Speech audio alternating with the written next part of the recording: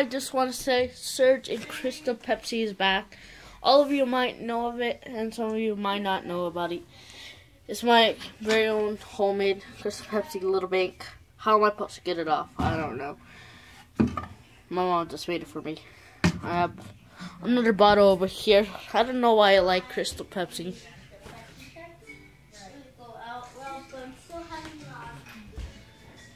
And my sister's making a YouTube video. Um.